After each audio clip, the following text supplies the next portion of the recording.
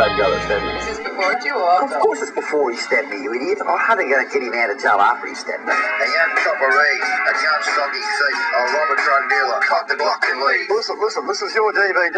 This is your, this is, you're, you're spending the money, so ask you something, well, hurry up or fuck off, because this is my fucking art gallery.